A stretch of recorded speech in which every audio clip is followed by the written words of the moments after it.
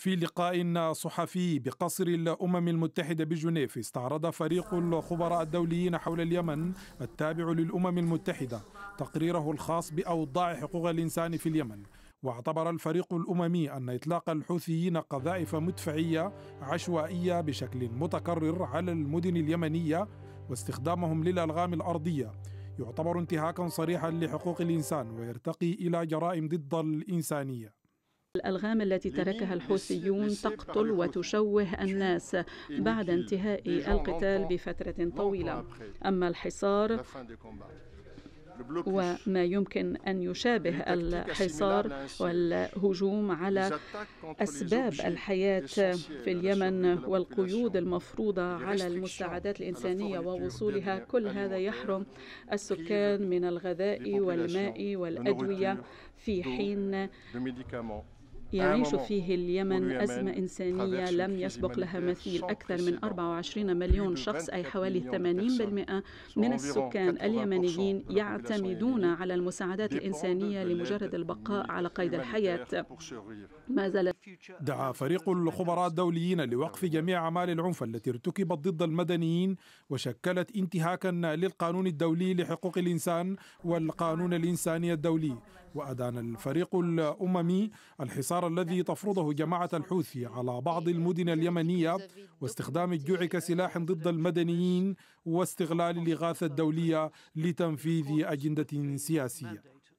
أثبت يعني من وقائع آه، دفعتنا إلى الوصول إلى الاستنتاج بأن استعمال مثلا المواد الغذائية أو الإعانة التي قدمت إلى اليمنيين كانت محل توظيف إن صح التعبير من قبل العديد من الأطراف منها الطرف الحوثي ولكن ليس الوحيد في هذا الشأن يعني. وأيضا بالنسبة للألغام تحديدا كانت يعني تمكنا من الوصول لاستنتاج أن الألغام التي وضعت الحوثي أو القوات المتحالفة مع الحوثي يعني كان لها أثر كبير على السكان باعتبار أنه لم يقع إعلام السكان عند خروج الحوثي من المناطق التي كانوا يسيطرون عليها بوجود ألغام وبالتالي هذه الألغام تسببت في عدد كبير من الموتى ومن الضحايا سواء كان الموتى أو جرحى.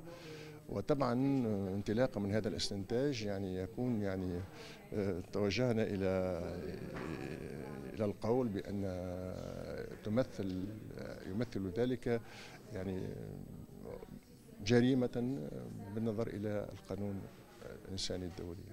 وفي الختام حث فريق الخبراء جميع الدول والمنظمات الدولية إلى تعزيز كافة الجهود وبخاصة جهود المبعوث الخاص للأمين العام للأمم المتحدة إلى اليمن للتوصل إلى حل سياسي. وأكد أعضاء الفريق الأممي أنهم سلموا المفوضية السامية لحقوق الإنسان قائمة بأسماء أشخاص وجماعات.